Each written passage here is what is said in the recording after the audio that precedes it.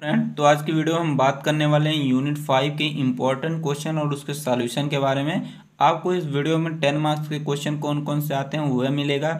और seven marks के और टू मार्क्स के कौन से क्वेश्चन आते हैं? टेन मार्क्स वाला क्वेश्चन अगर आप सॉल्व कर लेते हैं तो यूनिट फाइव आपका पूरा सॉल्व हो जाएगा। यहीं से सेवन मार्क्स के भी हो जाएँगे, टू मार्क्स के भी हो जाएँगे। तो यह क्वेश्चन जो आपके सामने दिया गया है दो हज़ार वाले क्वेश्चन पेपर में पूछा गया आप वहाँ से जाके देख सकते हैं। ठीक है तो यहाँ पे लिखा what are the function of PSC तो पहले आपको फ़ंक्शन लिखना है पीएससी का। तो यहाँ पे फ़ंक्शन लिखा गया पी का तो यह टू मार्क्स में भी क्वेश्चन पूछा जाता है। फंस पीएससी का फ़ंक्शन बताइए कौन कौन सा होता है। तो पहला यहाँ पे है मेडिकल केयर जो सर्विसेज़ हैं वह प्रोवाइड करने का काम हमारा पीएससी करता है और जो भी कॉम्युनिकेबल डिज़ीज़ है, उसको भी कंट्रोल करने का काम हमारा पीएससी करता है। जो इन्वायरमेंटल सैनिटाइजेशन है, उसको जो मेंटेन करने का काम हमारा पीएससी करता है। और हमारा जो एम जो प्रोग्राम है मेट्रल एंड चाइल्ड हेल्थ जो सर्विसेज़ है, यह भी प्रोवाइड करने का काम हमारा पीएससी करता है। और इसके साथ साथ जो भी फैमिली प्लानिंग फैमिली प्लानिंग है, उसमें भी मदद हमारा पीएससी करता है प्राइमरी हेल्थ सर्विसेज़ ही करती है। अब बात करते हैं it provide school health services यह क्या करता है? जो हमारी पीएससी होती है पीएससी क्या करता है? स्कूल हेल्थ सर्विसेज़ भी प्रोवाइड करने का काम करता है और इसके साथ साथ हेल्थ एजुकेशन भी प्रोवाइड करने का काम करता है। और हमारा जो पीएससी है, यह नेशनल हेल्थ प्रोग्राम है, इसका भी इम्प्लीमेंट करता आपने देखा, कई सारे आप प्रोग्राम पढ़ भी चुके हैं और इसके साथ साथ जो हमारे पर्सनल्स होते हैं, उसको ट्रेनिंग भी प्रोवाइड करने का काम हमारा पीएससी करता है। अब आगे बात करते हैं community service in rural area तो यहाँ पे क्वेश्चन पूछा गया है elaborate community service in rural area with improvement is sanitization with health promotion activity in school तो पहले देखते हैं community service in rural area तो इसके बारे में पहले देख लेते हैं। तो यहाँ पे लिखा गया community service in rural area तो सबसे पहले देखते हैं कम्युनिटी सर्विस क्या होती है। कम्युनिटी सर्विस एक ऐसा वर्क होता है जो कि एक पर्सन या ग्रुप ऑफ़ पीपल के द्वारा प्रोवाइड किया जाता है किसी अदर पर्सन को ताकि उसको बेनिफिट मिल सके। ठीक है, उसको बोलते हैं कम्युनिटी सर्विस सर्विस। अब बात करते हैं रूरल एरिया। रूरल एरिया उसको बोलते हैं जहाँ पे एक स्क्वायर मील में एक हज़ार पर्सन रहते हैं, उसको बोलते हैं रूरल एरिया बोलते हैं। ठीक है? रूरल एरिया उसको बोलते हैं जहाँ पे कम पर्सन, कम पॉपुलेशन रहती है, उसको बोलते हैं रूरल एरिया, जैसे विलेज हो गया। ठीक है? उसको हम बोलेंगे रूरल एरिया। अब बात करते हैं रूरल हेल्थ सर्विसेज़ क्या होती हैं? ठीक है? तो आपने यहाँ पे कम्युनिटी सर्विसेज़ क्या होती हैं? रूरल एरिया क्या होता है? इसके बारे में आपने देख लिया। ठीक है? तो रूरल जो हेल्थ सर्विसेज़ होती हैं यह हमें हमें क्या करती हैं कि जो रूरल एरिया में जो भी पर्सन पर्सनस हैं, ठीक है, या रह रहे हैं, उनको हेल्थ केयर सर्विसेज़ प्रोवाइड करने का काम करती है, ठीक है। और जो रूरल हेल्थ सर्विसेज़ होती है, इसमें जैसे हमारा हो गया कि प्रिवेंशन केयर सर्विसेज़ प्रोवाइड करने का काम किया जाता है डायग्नोस्टिक सर्विसेज़ प्रोवाइड करने का काम किया जाता है ट्रीटमेंट सर्विसेज़ प्रोवाइड करने का काम किया जाता है और इसके साथ रिहेबिलेशन जो सर्विसेज़ हैं, यह भी प्रोवाइड करने का काम हमारे रूरल हेल्थ सर्विस करता है। ठीक है, हमारे रूरल एरिया में। ठीक है, और जो हमारा यह रूरल हेल्थ सर्विसेज़ है, यह प्रोवाइड करने का काम जो है, हमारे हेल्थ केयर जो प्रोफेशनल्स होते हैं, वह करते हैं। जैसे हमारे डॉक्टर हो गए नर्सेज हो गए एंड जो अदर मेडिकल स्टाफ हैं, यह क्या करते हैं कि जो रूरल हेल्थ सर्विसेज़ है, यह प्रोवाइड करने का काम करते हैं। आगे बात करते हैं यहाँ पे कम यहाँ पे कुछ जो है रूरल हेल्थ सर्विसेज़ लिखे गए हैं। तो पहला हमारा आता है primary health services primary health services क्या करता है कि यह जो भी रूरल एरिया में जो भी पर्सनस हैं, उनको हेल्थ केयर सर्विसेज़ प्रोवाइड करने का काम करता है। जैसे कि रूटीन चेकअप की सर्विसेज़ प्रोवाइड करता है कॉमनी जो वैक्सीनेशन है, उसकी सर्विसेज़ प्रोवाइड करने का काम करता है और इसके साथ साथ हेल्थ एजुकेशन की जो सर्विसेज़ है, ये प्रोवाइड करने का काम हमारा प्राइमरी हेल्थ सर्विस करता है। ठीक है, आगे बात करते हैं emergency medical services. Emergency medical services जो होती है, यह क्या करता है कि मेडिकल जो केयर है। मेडिकल केयर यह क्विकली मतलब बहुत ही जल्द हमारे रूरल एरिया में जो भी पर्सन रह रहे हैं, उनको प्रोवाइड करने का काम करता है। कि जैसे मान लीजिए, कोई पर्सन गाँव में बीमार हुआ, वह क्या करेंगे? 102 पे कॉल करेंगे, ठीक है? तुरंत क्या करेंगे? एंबुलेंस को बुला लेंगे। तो यहाँ पे एंबुलेंस सर्विसेज़ ठीक है? इमरजेंसी मेडिकल सर्विसेज़ प्रोवाइड करता है। और इसके साथ इमरजेंसी मेडिकल टेक्नीशियन जो है, यह रूरल एरिया में जो भी पर्सन रह रहे हैं, उनको मेडिकल टेक्नीशियन जो है मेडिकल केयर जो है provide, medical care services provide करने का काम करते हैं और इसके साथ साथ इमरजेंसी जो डिपार्टमेंट है, यह भी रूरल एरिया में जो भी पर्सनस हैं, उनको मेडिकल केयर सर्विसेज़ प्रोवाइड करने का काम करता है। आगे बात करते हैं tele medical services. Tele medical services आपको एग्जांपल समझाते हैं। मान लीजिए कोई आपका बेस्ट डॉक्टर मान लीजिए मुंबई में रहता है, आप हैं किसी रूरल एरिया के। अब मान लीजिए आप बीमार पड़ गए रूरल एरिया में तो आप क्या करेंगे कि आप फ़ोन उठाएँगे या वीडियो कॉल के थ्रू या तो किसी तरह आप क्या करेंगे, उस डॉक्टर के पास फ़ोन मिला के आप बोलेंगे कि मैं बीमार हूँ, आप अपनी बीमारी बताएँगे, वह क्या करेगा? वहीं से वह बीमारी का इलाज बताएगा। ठीक है? तो यहाँ पे लिखा गया these services use technology to provide medical care. तो इसमें क्या होती है? टेक्नोलॉजीज़ का यूज़ किया जाता है मेडिकल केयर के लिए। ठीक है? Remote, re, remotely such as video consultation ठीक है? यहाँ पे वीडियो वीडियो कॉल्स के थ्रू ठीक है, जो डॉक्टर्स होते हैं या क्या करते हैं कि उस पेशेंट को मॉनिटर करने का काम करते हैं और उसको डायग्नोस करने का काम करते हैं, उसको बोलते हैं टेली मेडिकल सर्विसेज़ ठीक है? तो आइए आगे बात करते हैं, हमारा अगला आता है स्पेशलिस्ट हेल्थ केयर सर्विसेज़ ठीक है?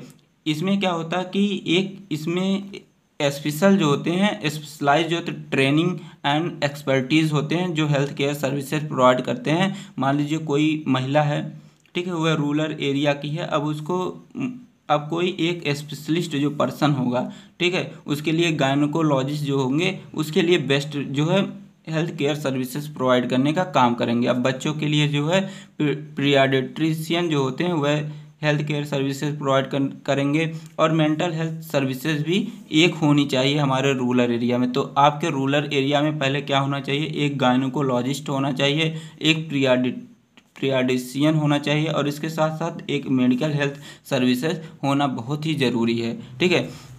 आगे बात करते हैं डेंटल केयर सर्विसेज़ के बारे में। तो डेंटल केयर सर्विसेज़ जो है या क्या करता है कि जैसे क्या, जो क्लीनिंग बोल सकते हैं क्लीनिंग जो सर्विसेज़ है या रूटीन चेकअप सर्विसेज़ हैं और जो ट्रीटमेंट है, जो डेंटल इशू से जो भी रिलेटेड डेंटल इशू है, उसको ट्रीटमेंट प्रोवाइड करने का काम कर रहे हैं, उसको बोलते हैं डेंटल केयर सर्विसेज़ ठीक है, अब बात करते हैं क्रोनिक क्रोनिक डिज़ीज़ मैनेजमेंट तो इसमें क्या है कि रूरल हेल्थ सर्विसेज़ में also focus on managing chronic disease जो हमारा रूरल हेल्थ सर्विसेज़ है, यह क्या करता है? मेन फोकस यह क्या करता है कि जो भी क्रोनिक डिज़ीज़ है, उसको मैनेज करने का काम करता है। जैसे हमारे क्रोनिक डिज़ीज़ हो गए डायबिटीज़ हो गया हाइपर टेंशन हो गया हार्ट डिज़ीज़ है, इन सभी को वह क्या करता है कि उसको मैनेज करने का, उसको ठीक करने का काम करता है हमारा क्लोनिंग डिज़ीज़ मैनेजमेंट ठीक है? तो ये हमारा रूरल हेल्थ सर्विसेज़ में ही आते हैं। आगे बात करते हैं जो maternal and child health services जो इसमें क्या होता है कि these services are focus on providing health care to mother and children तो यह क्या करता है कि जो हमारे ये सर्विसेज़ हैं, यह मदर को और चिल्ड्रेन को हेल्थ केयर सर्विसेज़ प्रोवाइड करने का काम करता है। जैसे इसमें हेल्थ केयर सर्विसेज़ हो गया, जैसे prenatal natal care prenatal का मतलब कि जैसे बेबी बर्थ होने के बाद जो मदर को जो भी हेल्थ केयर सर्विसेज़ दी जाती है, उसको बोलते हैं प्री नेटल केयर और एंट नेटल जो केयर होता है एंट नेटल मतलब जब कोई भी वोमेन प्रेग्नेंट रहती है प्रेग्नेंट के टाइम जब उसको हेल्थ केयर सर्विसेज़ प्रोवाइड की जाती है, उसको बोलते हैं एंट नेटल केयर ठीक है? एंड पीडियाट्रिक केयर जो सर्विसेज़ प्रोवाइड की जाती है वह हमारा आता है maternal and child health services में। ठीक है आई होप आपको इतना समझ में आ गया होगा। अब आगे हमारा जो क्वेश्चन में पूछा गया है, पूछा गया है कि विथ इम्प्रूवमेंट इज़ सैनिटाइजेशन तो आपको इम्प्रूवमेंट इज़ सैनिटाइजेशन लिखना है तो बहुत इंपॉर्टेंट है with with health promotion activity in school तो आपको यह क्वेश्चन एक क्वेश्चन यहाँ से हो गया, दूसरा क्वेश्चन ए हो गया, तीसरा क्वेश्चन हमारा ए हो गया। तो तीन क्वेश्चन आपको यहीं पे सॉल्व हो गए। तो आइए बात करते हैं हम, हमारा जो अगला आता है इम्प्रूवमेंट इन रूरल सैनिटाइजेशन तो देखिए 2022-23 में यह भी क्वेश्चन पूछा गया था सेवन मार्क्स में। तो आपको ध्यान से एकदम पढ़ना है इसको। तो हमारा जो है in 1986 the central the central rural sanitization programme is launch जो हमारा 1986 में यह हमारा प्रोग्राम जो है, यह लॉन्च किया गया था। इसका मेन गोल यही है कि जो क्वालिटी ऑफ़ लाइफ है रूरल पॉपुलेशन में उसको इम्प्रूव करना। ठीक है मेन मोटिव यही है। पहले देखते थे कि पहले लोग जो है टॉयलेट बाथरूम के बाहर जाते थे। लेकिन अब घर घर क्या हो गया? शौचालय हो गया। लोग अपने घर ही वहीं पे करते हैं कि ज़्यादा कोई गंदगी नहीं होती है। ठीक है, जब यह प्रोग्राम चलाया गया था, तब से बहुत ही हमारे इन्वायरमेंट पे बहुत ही सुधार हुआ है। ठीक है, आगे बात करते हैं। There is direct link between water and health care हमारा जो इम्प्रूवमेंट इन रूरल सैनिटाइजेशन है, यह क्या करता है? डायरेक्ट लिंक करता हाँ। वाटर और हेल्थ केयर से। ठीक है, अगर कोई भी पर्सन है, अगर उसको जो साफ़ पानी, अगर वह साफ़ पानी सेनेटाइज पानी अगर पीता है, ठीक है तो मान लीजिए उसको कोई भी बीमारी नहीं हो सकती। ठीक है, वह हेल्दी रहेगा। ठीक है अगर वह क्या करता कि अगर साफ़ पानी नहीं पीता है सैनिटाइज जो हाइजीनिक जो वाटर है वह नहीं लेता है तो वह पर्सन क्या हो जाएगा? बीमार हो जाएगा। ठीक है तो यहाँ से इसको लिख सकते हैं। आप बात करते हैं rural sanitization programme in India कौन कौन से रूरल सैनिटाइजेशन प्रोग्राम इंडिया में चलाए गए थे? तो आपको पता है, पहला हमारा आता स्वच्छ स्वच्छ भारत अभियान। आपने देखा होगा स्वच्छ भारत अभियान। ठीक है रूरल एरिया में अगर रहते होंगे तो आपने देखा होगा this is rural clean India mission, ठीक है? यह क्या है? यह क्लीन इंडिया मिशन है, ठीक है? भारत को स्वच्छ बनाए रखने का एक मिशन है, ठीक है? इसका गोल क्या है कि खुले में शौच शौच को रोकना, खुले में किसी को शौच करने से रोकना है, ठीक है? तो इसका गोल है। अब बात करते हैं सुलभ शौचालय। आपने यह भी देखा होगा, सुलभ शौचालय तो इसका फुल फॉर्म यहाँ पे लिखा गया है, सुलभ सुलभ इंटरनेशनल सोशल सर्विस ऑर्गेनाइजेशन ठीक है? यह इसके जो फाउंडर थे डॉक्टर डॉक्टर बिंद, बिंदेश्वर, डॉक्टर बिंदेश्वर पाठक इसके क्या थे? फाउंडर थे। और तीसरा हमारा यहाँ पे जो रूरल सैनिटाइजेशन प्रोग्राम था, ये हमारा था ड्राई टॉयलेट ठीक है, इसमें क्या होता था कि इसमें मान लीजिए कि यहाँ पे काऊ है, आपको थोड़ा एग्जांपल से समझा के बताते हैं एक अच्छी तरह से। तो यहाँ पे मान लीजिए काऊ है। ठीक है, मैंने यहाँ पे काऊ लिख दिया। अब क्या करती? काऊ करता है यूरिन यूरिन यहाँ पे लिख लेते हैं। अब यूरिन को या उसके जो भी डग है, गोबर है, उसको क्या करेंगे? एक हम एक गड्ढे में इकट्ठा कर लेते थे, ठीक है? अब यहाँ पे एक गड्ढा बना लिए, इसमें क्या कर लेते हैं? इकट्ठा कर लेते हैं। तो इसको बोलते हैं बायोडाइजेस्टर। बायो डाइजेस्टर ठीक है, बायोडाइजेस्टर बोल देते थे। अब क्या करते थे, इसमें जो यूरिन था और जो गोबर था, इसमें कुछ दिन तक रहता था ऐसे। फिर क्या करते थे, इसको हम, इसमें से जो गैस निकलती थी, जिसको हम बोलते थे बायोगैस, ठीक है, बायोगैस निकलती है। अब इस बायोगैस का हम क्या करते हैं, कुकिंग में यूज़ कर लेते हैं। कुकिंग में इसका हम यूज़ कर लेते हैं और इसके साथ साथ इसका हम लाइटिंग में यूज़ करते हैं। पहले आप देखते थे, गोबर गैस आती थी गोबर गैस मतलब कि लाइटिंग में भी यूज़ करते थे और खाना पकाने में भी इस बायोगैस का हम यूज़ करते हैं। ठीक है, यहाँ पे हो गया। अब इसके साथ साथ जो भी चीज़ें हम यहाँ पे बची हैं, मान लीजिए बायोगैस तो निकल गई। अब यहाँ पे जो भी चीज़ें बचती थी, उसको क्या करते थे? बायो फर्टिलाइज़र के रूप में हम यूज़ करते थे। बायो फर्टिलाइज़र बायो फर्टिलाइज़र के रूप में हम यहाँ पे घास वूस बना देते हैं। ठीक है बायो फर्टिलाइज़र के रूप में यूज़ करते थे। अब इस घास को क्या, कौन खाता था? यह हमारी गाय खाती थी यह चैन ऐसे चलती रहती थी। तो ड्राई टॉयलेट का हम क्या कर रहे हैं यहाँ पे? इसको अच्छे जगह इसका हम यूज़ कर रहे हैं, ठीक है? अब बात करते हैं इसके ऑब्जेक्टिव के बारे में। इसका ऑब्जेक्टिव पहला है enhance of the general quality of life in rural area जो रूरल एरिया है, इसमें जो क्वालिटी ऑफ़ लाइफ है, इसको इम्प्रूवमेंट करना पहला ऑब्जेक्टिव ये हो गया। दूसरा ऑब्जेक्टिव यह है कि जो डिज़ीज़ हो रही थी ठीक है, जो डिज़ीज़ हो रही थी, उसको हम क्या करने लगे? प्रिवेंट करने लगे। ठीक है, जो भी अगर जहाँ पे सैनिटाइजेशन नहीं होता, जहाँ पे साफ़ सफ़ाई नहीं होती थी, ठीक है, लोग खुले में सोच जाते थे, ठीक है तो उससे क्या होती थी? गंदगी होती थी। गंदगी होने से लोग बीमार होते थे। तो यह प्रोग्राम चलाने से क्या हो गया कि यह जो है, इसको प्रिवेंट किया गया डिज़ीज़ होने से। ठीक है covering school with sanitization facilities in rural area and promoting student sanitary habit ठीक है? जो स्कूल में जो भी बच्चे पढ़ रहे हैं, ठीक है? उनको क्या किया गया कि उनको जो सैनिटरी हैबिट्स हैं, उस, वह प्रोवाइड की गई, ठीक है? उन, और जो रूरल एरिया में जो भी स्कूल हैं, वहाँ पे सुलभ शौचालय बनवाए गए, ठीक है? सभी चीज़ें वहाँ पे मतलब उपलब्ध कराई गई, ठीक है? अगला दिया गया इसका ऑब्जेक्टिव है एलिमिनेट ओपन डिफेक्शन। इसका मतलब है कि खुले में शौच जाने से रोका गया, ठीक है? इसको यहाँ पे इम्प्रूवमेंट इन रूरल सैनिटाइजेशन जो प्रोग्राम चलाया गया था सेंट्रल रूरल सैनिटाइजेशन प्रोग्राम ठीक है? जब यह लॉन्च हुआ था, इससे क्या हुआ कि लोग खुले में शौच जाने से यहाँ पे उसको प्रिवेंट किया गया।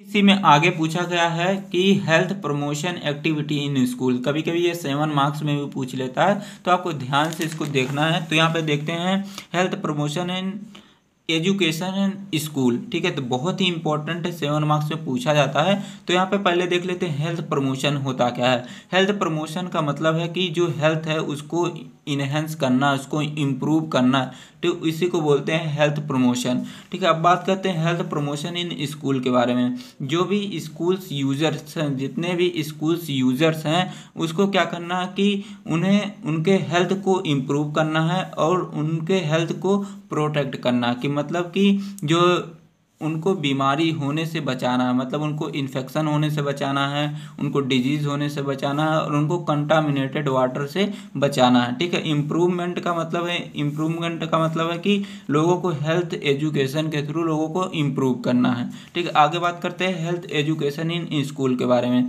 तो इसका जो मिशन है, इसका मिशन यही है कि लोगों को जितने भी स्टूडेंट हैं, उसको नॉलेज प्रोवाइड करना, उसको जो स्किल प्रोवाइड करना, जिसके वजह से वह एक सक्सेसफुल लर्नर बन सके और जो हेल्दी एडल्ट बन सके, ठीक है? आगे बात करते जो हमारा स्कूल हेल्थ एजुकेशन है प्रोग्राम है, यह क्या करता है कि जो हेल्थ रिस्क रिस्क हैं, उसको मिनिमाइज करने का काम करता है। हेल्थ रिस्क जैसे हमारा हो गया, तंबाकू यूज़ करने से बचा, बचाता हमारा है। हेल्थ जो स्कूल हेल्थ एजुकेशन प्रोग्राम है, यह क्या करता है? पुअर न्यूट्रिशन से बचाने का काम करता है और जो ड्रग एंड अल्कोहल यूजेज करने से बचाता है और जो फ़िज़िकल एक्टिविटी इसके लैक होने को भी बचाता है। ठीक, अब बात करते हैं हेल्थ एजुकेशन। हेल्थ एजुकेशन में पहला आ गया कि हेल्थ एजुकेशन क्या करता है कि हेल्थ को प्रमोट करने का काम करता है, हेल्थ को मेंटेन करने का काम करता है और हेल्थ को रिस्टोर करने का काम करता है। आगे बात करते हैं हेल्थ एजुकेशन मेथड।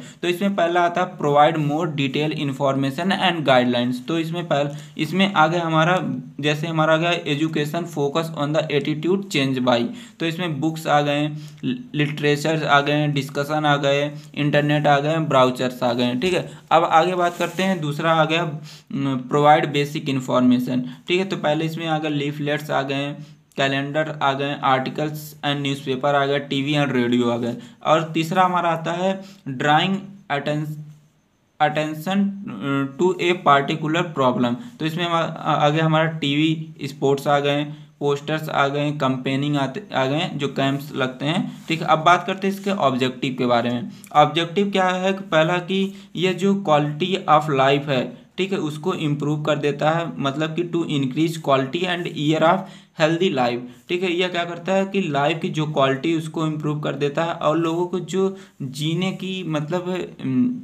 दशा उसको इम्प्रूव कर देता है, ठीक है? और यह क्या करता है कि जो भी फ़ंक्शन है, उसको मेंटेन करने का काम करता है और इसके साथ साथ जो कॉन्सेप्ट ऑफ़ हेल्थ है, उसको भी डिफाइन करने का काम करता है। और फिर अगला दिया गया है to develop the health attitude जो हेल्थ एटीट्यूड है, उसको भी डेवलप करने का काम करता है। और यह जो है to increase knowledge of the factor that affect health और यह क्या करता है कि जो भी फैक्टर जो मतलब हेल्थ को अफेक्ट करते हैं उसको भी नॉलेज को इम्प्रूवमेंट करने का काम करता है। मतलब रिस्क जो फैक्टर है, उसको आइडेंटिफाई करने में भी हेल्प करता है। आगे बात करते हैं कि जो to improve the school and community health state है, यह क्या करता है कि जो हमारे हेल्थ एजुकेशन इन स्कूल है, यह क्या करता है कि जो स्कूल है स्कूल हेल्थ स्टेटस और कम्युनिटी हेल्थ स्टेटस, उसको इम्प्रूवमेंट करने का काम करता है। अब बात करते हैं, अगला हमारा दिया गया स्कूल हेल्थ सर्विसेज़। ठीक है जो स्कूल हेल्थ सर्विसेज़ है, ये हमारा इम्पोर्टेंट है। तो पहले इसमें आता है हेल्थ एजुकेशन आता है। हेल्थ एजुकेशन में जैसे आ गया फ़िज़िकल एजुकेशन आ गया।